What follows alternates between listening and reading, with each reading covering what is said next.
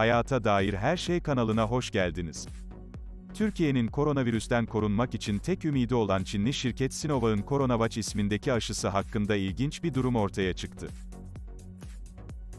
Aşının 3. faz denemelerine katılan 12 kişiye aşı olduktan sonra koronavirüs bulaştı. Sinovac tarafından geliştirilen aşının 3. faz denemeleri Türkiye, Brezilya ve Endonezya'da yapılıyor. Türkiye'de yaklaşık 2000 kişiye aşı uygulandı. İlk olarak gönüllü sağlık çalışanlarına, Kasım ayından itibaren gönüllü vatandaşların bir kısmına aşı yapıldı. Habertürk'ten Kübra Par'ın köşe yazısına göre Türkiye'deki gönüllülerden 12 kişiye aşı olduktan sonra koronavirüs bulaştı. Aşının 3. faz denemesine katılan gönüllülerin bir kısmına gerçek aşı diğer kısmına da boş aşı veriliyor.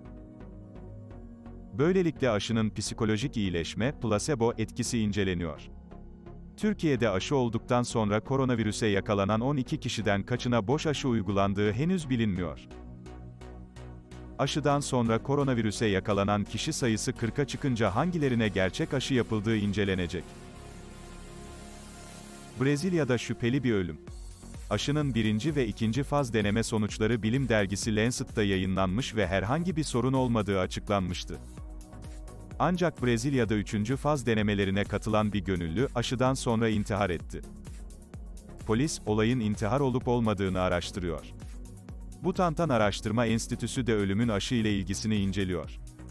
Türkiye, Brezilya, Endonezya ve Şili'den başka Sinovatan aşı siparişi veren ülke bulunmuyor.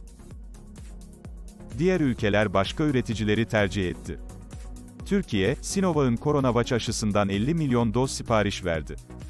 Bir kişiye 2 doz uygulanıyor yani 25 milyon kişiye yetecek kadar aşı için sözleşme imzalandı.